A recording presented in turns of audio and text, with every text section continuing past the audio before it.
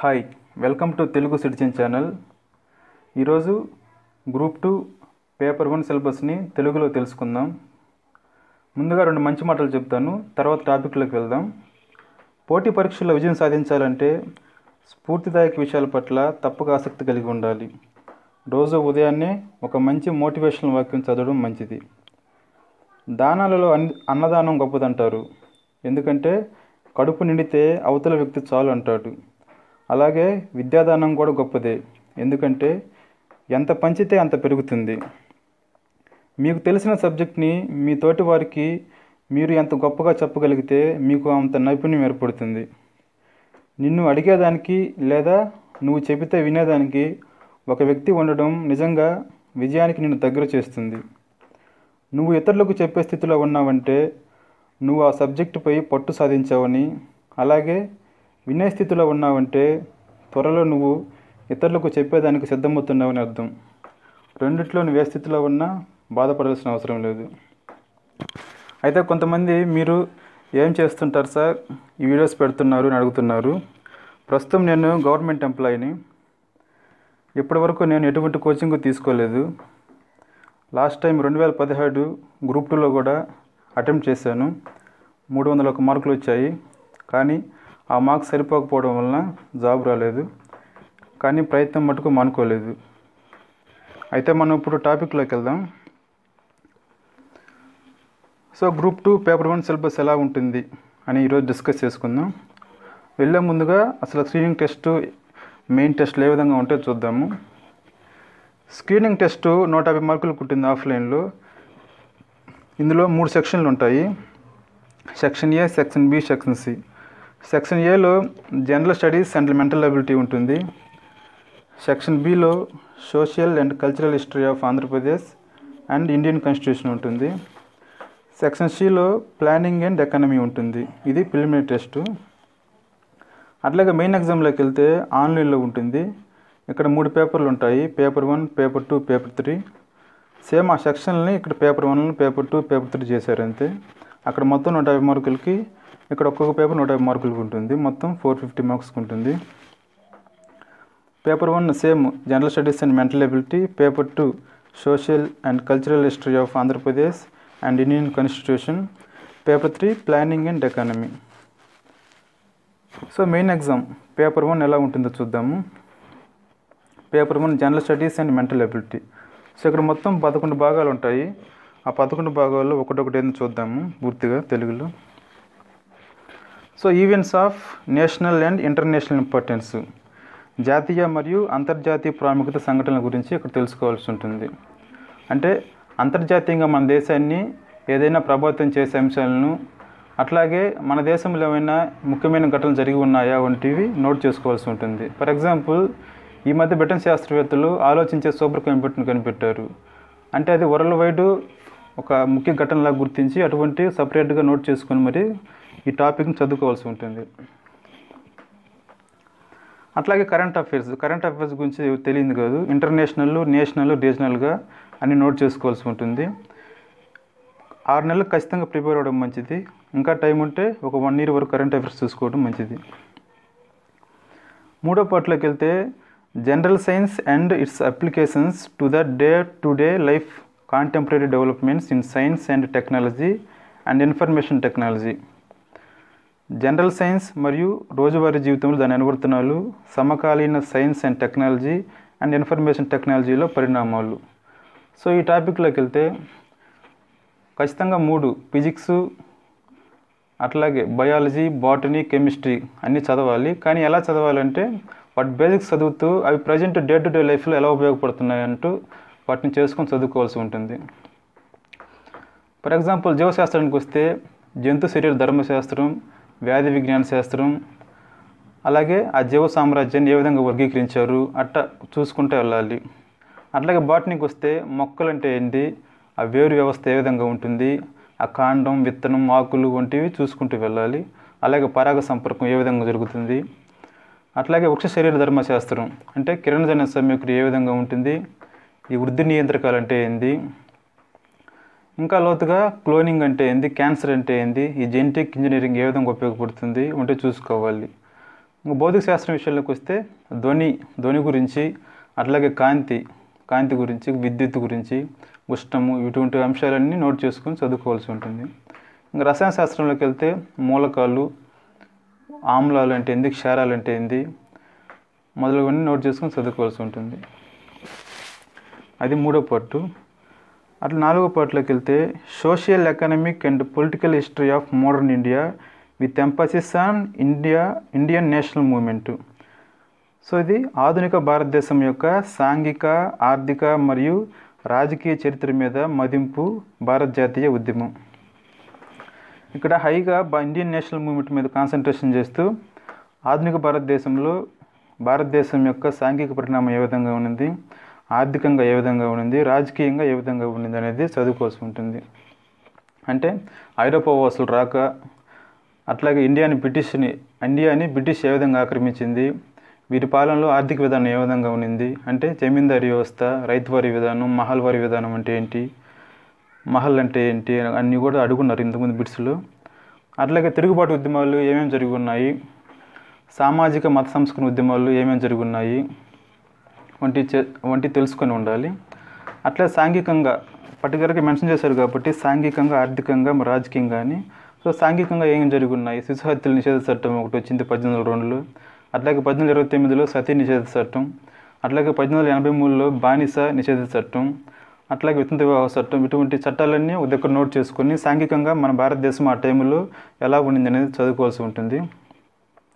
అట్లాగే ఆర్థికంగా అంటే అప్పుడు ఈ వ్యవస్థలు జమీందారీ మహల్ మహల్వారీలు ఏ విధంగా ఉన్నాయి? ఇంకా రాజకీయంగా ఏ విధంగా అని చూసుకోవాలి? ఇంకా highly focused on Indian national movement ఎక్కువ దీని మీద కాన్సన్ట్రేషన్ చేయాలి ఇక్కడ.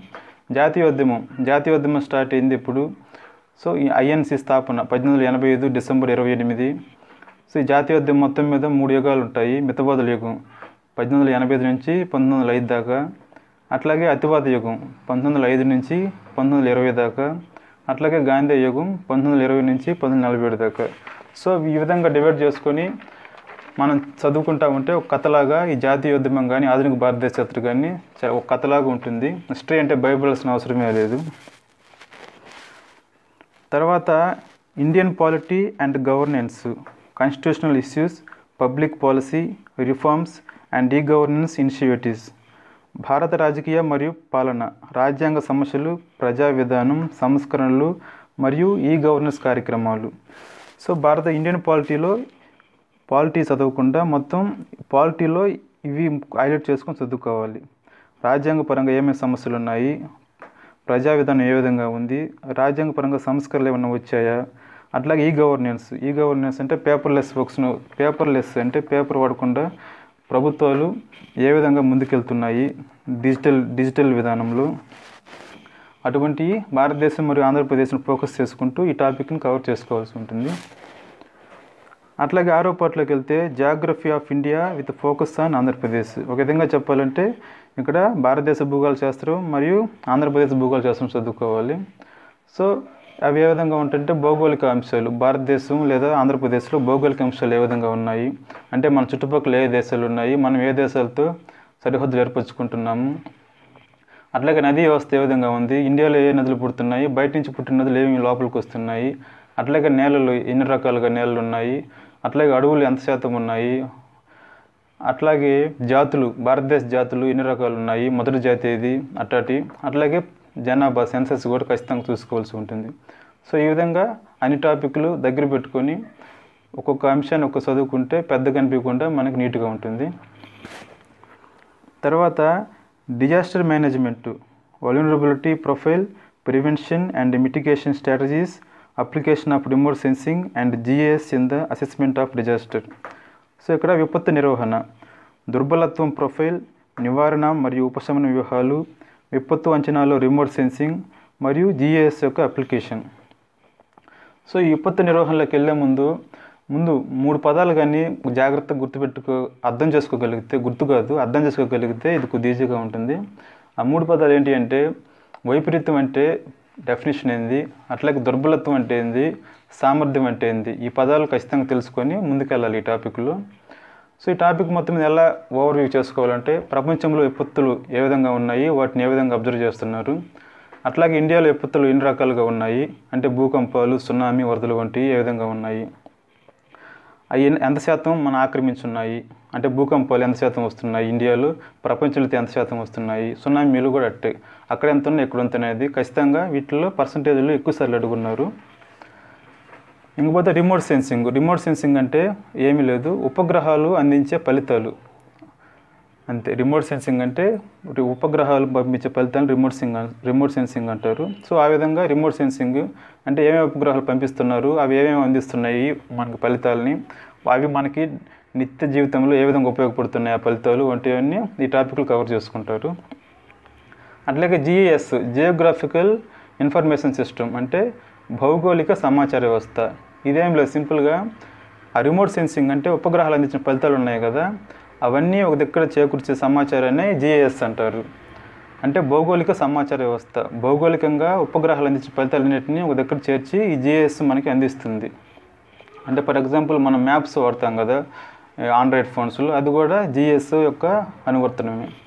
సో ఆ విధంగా కొద్దిగా టాపిక్ వైజ్ చదువుకుంటే ఇది కొద్దిగా పదాలు అర్థం చేసుకుంటా నీట్గా చదువుకుంటే కొద్ది ఇది కూడా ఈజీగానే ఉంటుంది. ఇక్కడ ఏంటంటే అన్నీ కొత్తగా ఉంటాయి కానీ అవి అర్థం చేసుకుంటే ఒకసారి చేసుకుంటే సరిపోతుంది ఈజీగా. మెయిన్గా విపత్తు రకాల్లో భూకంపాలు సునామీలు వరదలు ఇవి ఉన్నాయి కదా. ఇవి ప్రపంచంలో ఎంత శాతం ఉన్నాయి ఇండియాలో ఎంత శాతం ఉన్నాయి వాటి మీద ఎక్కువ అడుగుతున్నారు. ఈ మధ్య లేటెస్ట్గా ఇన్సిడెంట్ జరుగుంటే ఉంటే అవి కూడా గుర్తుపెట్టుకోవాల్సి ఉంటుంది. తర్వాత ఎనిమిదో topic sustainable development and environmental protection. అంటే సమ్మిళిత వృద్ధి మరియు పర్యావరణ పరిరక్షణ. పర్యావరణ పరిరక్షించడానికి ప్రభుత్వాలు ఏం చేస్తున్నాయి? ప్రజలు ఏం చేయాలి? ఈ మధ్య వచ్చిన బిఎస్ ఫోర్ కానీ రాబోయే బిఎస్ సిక్స్ కానీ ఇంకా సిఓ సిఓ ఏ విధంగా అంటే కార్బన్ మోనాక్సైడ్ ఏ విధంగా ఆ పర్యావరణకు హాని చెట్లు పెంచడం వల్ల ఉపయోగాలు ఏంది? మొదలైన టాపిక్లన్నీ ఇక్కడ కవర్ చేసుకొని చదువుకుంటే ఇది చిన్న టాపిక్ ఈజీగా ఉంటుంది. అట్లాగే తొమ్మిదో పట్టు logical reasoning analytical ability and logical interpretation so ఇక్కడ ఏంటంటే ఒక విధంగా చెప్పాలంటే రీజనింగ్. రీజనింగ్ పార్ట్స్ అన్ని అంటే నెంబరింగ్ సిస్టమ్ కానీ ఇటువంటివన్నీ చేసుకుంటే ఈ రీజనింగ్ అనేది ఈజీగా ఉంటుంది. తర్వాత పదో పట్టు data analysis tabulation of data visual representation of data basic data. Analysis summary statics such as mean median mode and variance and interpretation.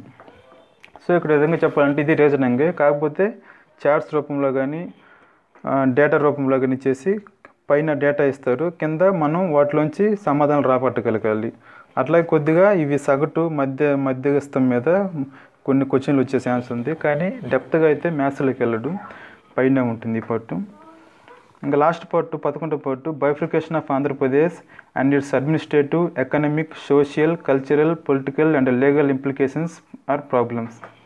So Andhra Pradesh విభజన మరియు దాని పరిపాలన ఆర్థిక సామాజిక సాంస్కృతిక రాజకీయ మరియు చట్టపరమైన ప్రభావాలు. సో ఇది ఆంధ్రప్రదేశ్ రెండు వేల పద్నాలుగులో విభజించబడింది కదా. అప్పటి ఆ సమయంలో మన ఏవే కమిటీలు ఏర్పడ్డాయి మనకి ఎంత నష్టం వచ్చింది అవతల తెలంగాణకి ఏం లాభాలు వచ్చాయి మనం ఏ విధంగా సఫర్ అయ్యాము వంటివన్నీ గుర్తుపెట్టుకుంటే ఈ టాపిక్ కూడా ఈజీగా ఉంటుంది. సో థ్యాంక్ యూ అండి.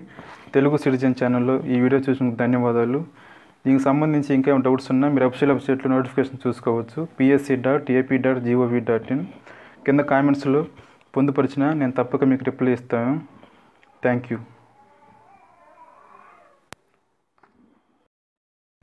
నేను అందించే వీడియోలు మీకు మెసేజ్ రూపంలో తెలియాలంటే తప్పక సబ్స్క్రైబ్ చేసుకుని బెల్ ఐకాన్ క్లిక్ చేయండి. Thank you